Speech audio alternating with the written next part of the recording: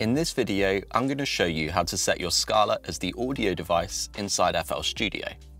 This means that we'll be able to record inputs through the Scarlett into FL Studio and listen back to what's playing from FL Studio through either headphones or speakers connected to our Scarlett.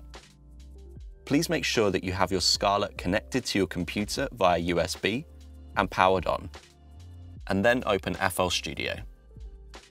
Go to Options, and audio settings. On a PC, please select Focusrite USB ASIO under ASIO devices. On a Mac, select your Scarlett under Devices. For playback tracking, select Hybrid.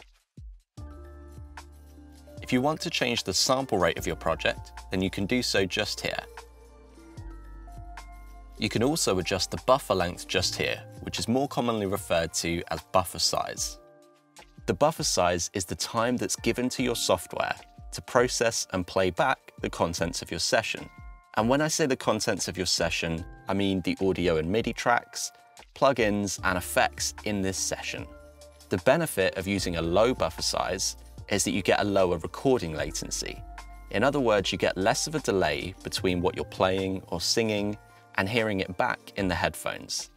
The downside of using a low buffer size is that you give your software less time to process the contents of your session, and this can lead to audio dropouts and glitches on playback. The benefit of using a higher buffer size is that you give your software more time to process the content in your session, meaning that you're far less likely to experience audio dropouts and glitches on playback.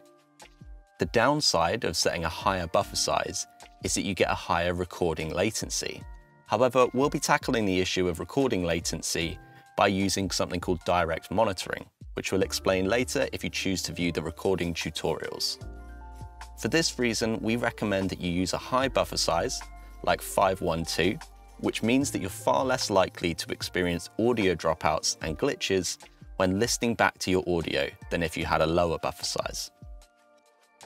Your Scarlett is now configured as your audio device inside FL Studio. We'll now show you how to start creating music using your Scarlett inside FL Studio.